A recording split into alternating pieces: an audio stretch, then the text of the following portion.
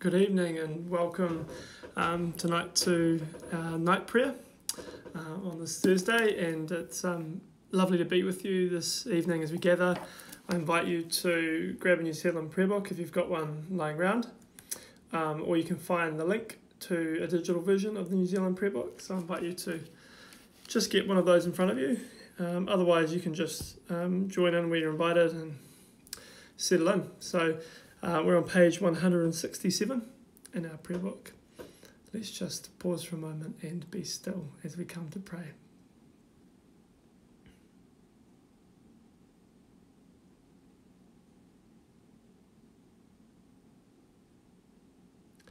The angels of God guard us through the night and quieten the powers of darkness. The Spirit of God be our guide to lead us to peace and to glory it is but lost labour that we haste to rise up early, and so late to take rest and eat the bread of anxiety. For those beloved of God are given gifts even while they sleep.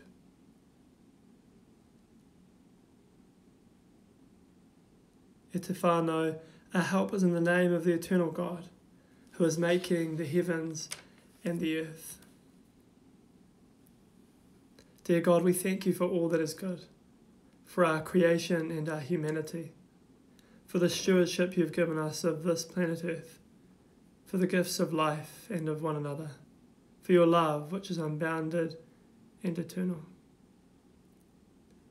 And so, for a moment, I invite you just to think of something you're thankful for today, something which has brought you joy. Um, yeah, just something that you're thankful for. Take a moment to bring that before the Lord and give thanks.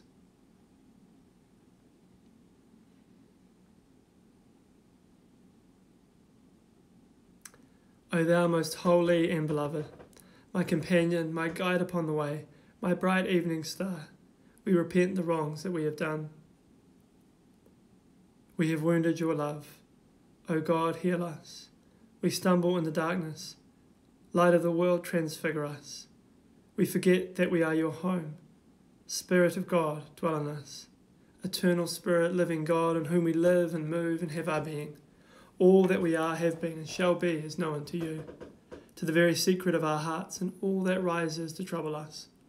Living flame burn into us, cleansing wind blow through us, fountain of water well up within us, that we may love and praise indeed and in truth.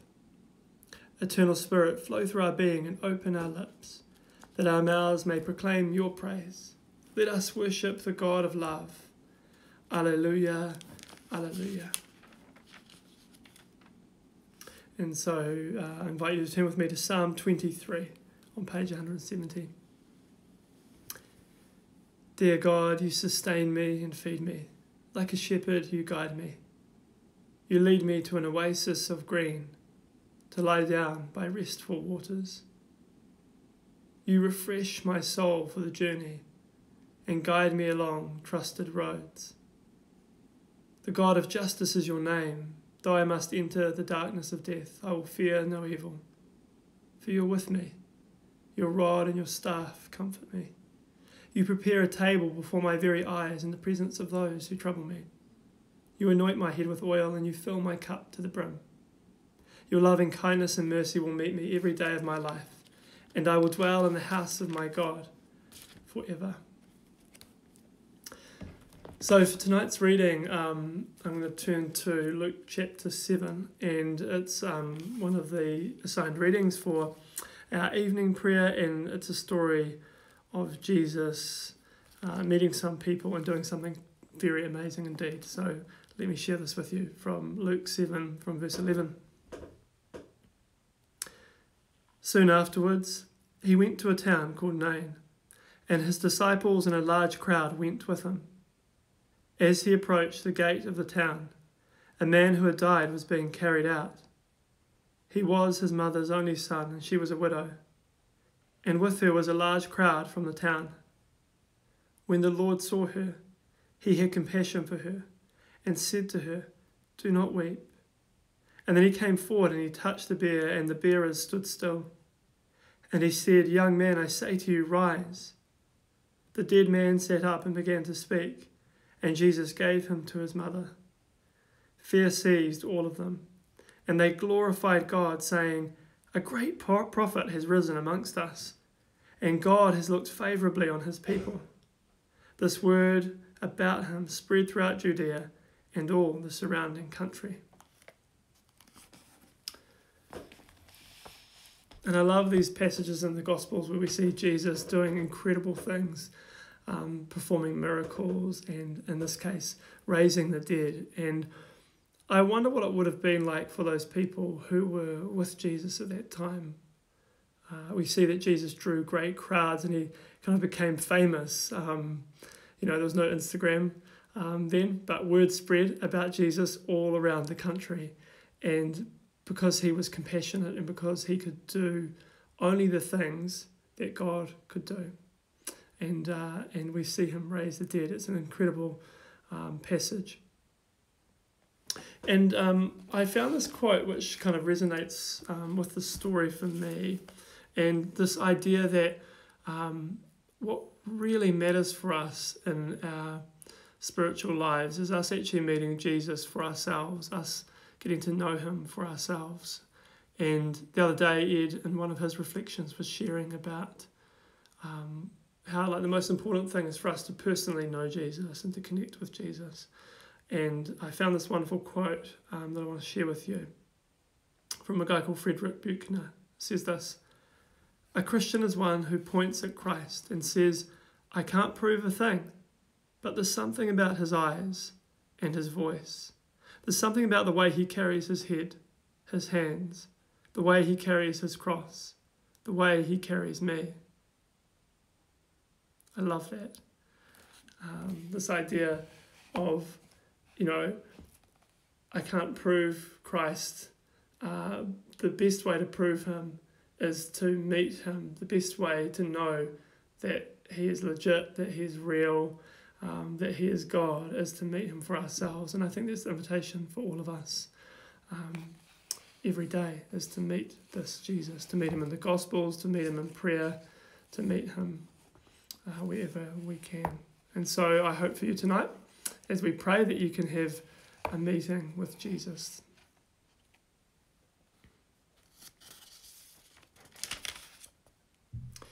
We're just going to take some time just to be still and um, I'm going to play a song.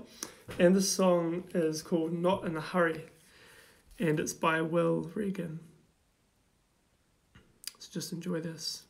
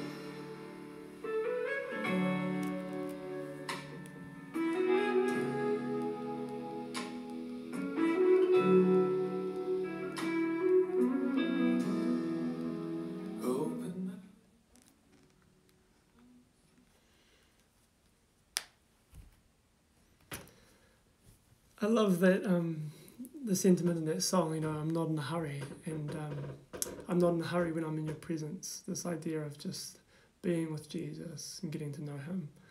I think it's uh, it's an awesome um, an awesome thing. We're going to take some time now to continue our prayers. We're on page 178 in our prayer book. Into your hands, O God, I commend my spirit.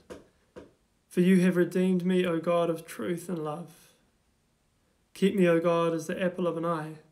Hide me under the shadow of your wings. Preserve us, O God, while waking, and guard us while sleeping, that awake we may watch with Christ, and asleep may rest in your peace. Praise be to God, I have lived to see this day. God's promise is fulfilled and my duty done. At last you have given me peace. For I have seen with my own eyes the salvation you have prepared for all nations, a light to the world in its darkness, and the glory of your people Israel. Glory be to God, sustaining, redeeming, sanctifying, as in the beginning, so now and forever. Amen. E te ariki kia aroha mai, e te karaiti kia aroha mai, e te ariki kia aroha mai. Just for a moment now, I invite you to um, just reflect on your day, to pause and just take a moment um, to play it through your mind, to think of those things that have happened, and just to notice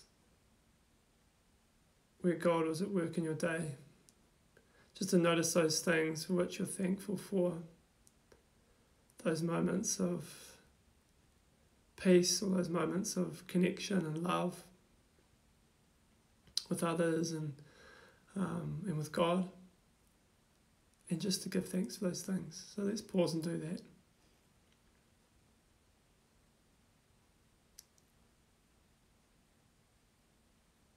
And I invite you to think of the people in your bubble right now. And I invite you to think of something you can pray for each of them.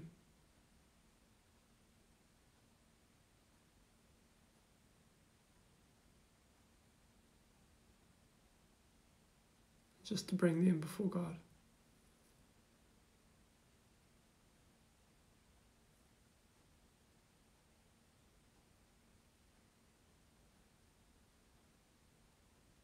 There's been lots going on in the news. Um, you know, that we can read about or listen to. And maybe there's something that's concerned you, and there's a story that you've heard um, of something happening around the world, and you want to bring that before God too. And so I invite you to do that in prayer, to pray for those on your mind around the world.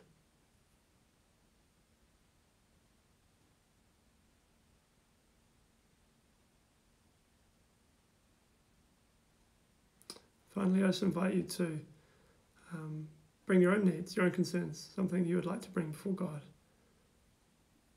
Just quietly now, I invite you to do that.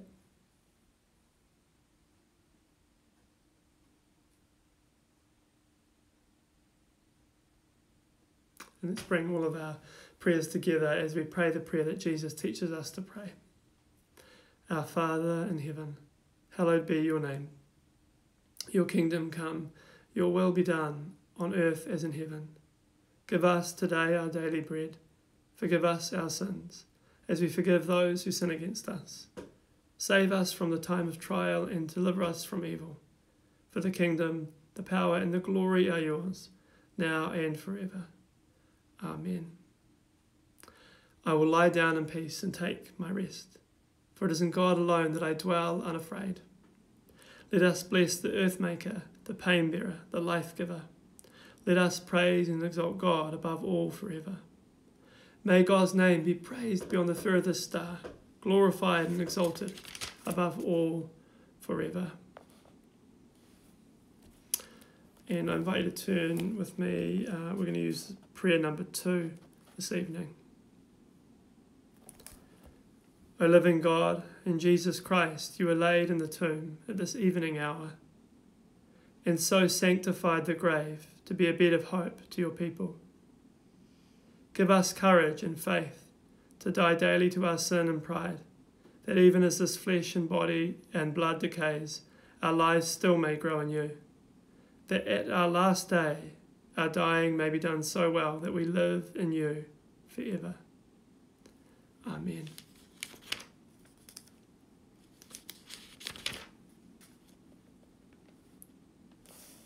Christ be within us to keep us, beside us to guard, before us to lead, behind us to protect, beneath us to support, and above us to bless the divine Spirit dwells in us. Thanks be to God. Amen. Hey, it's been wonderful to be with you this evening, um, to pray with you, and um, I hope you have a really lovely and peaceful sleep tonight. God bless.